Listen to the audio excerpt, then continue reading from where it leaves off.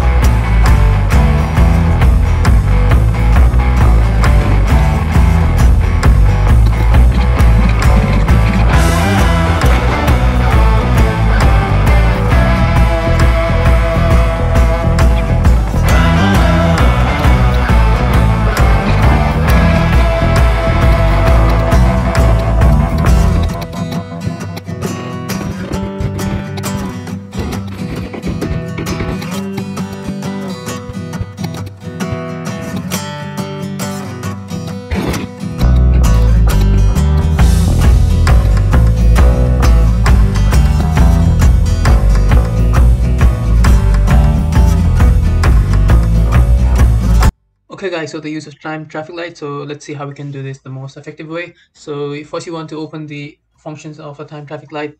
You could do that by clicking the side options over there. Then you want to prioritize your outgoing and your incoming traffic. So you want uh, three phases in this type of time traffic light. Now this junction it doesn't take much space. It's not that difficult to build and is very cost effective. And if you set it up the, in the right way, then it will be more than helpful to you.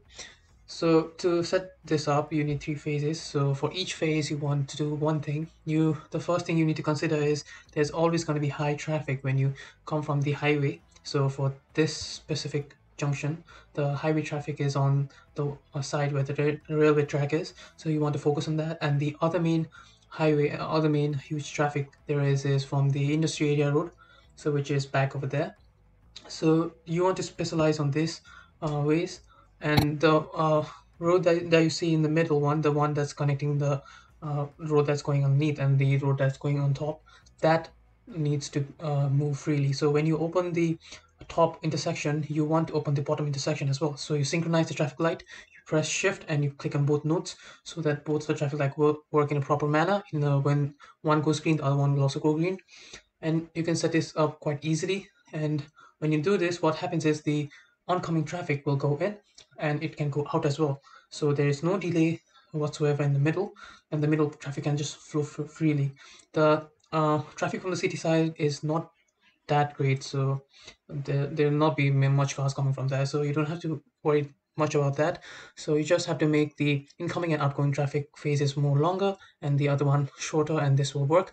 Uh, you could uh, stop the video and check my time traffic settings. So you could copy this as well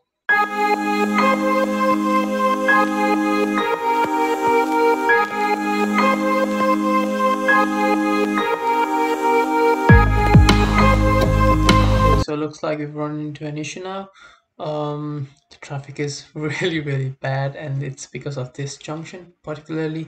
So let's fix some let's tweak it up uh, let's change the time settings and some lane let's check our lanes if anything's off then we'll do that and now we should be able to manage the traffic. So let's see how we do.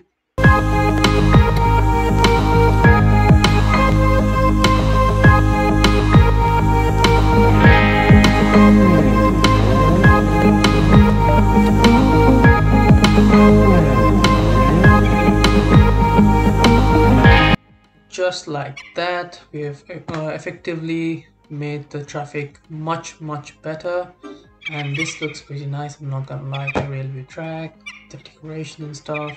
I'm going to build uh, more in later episodes.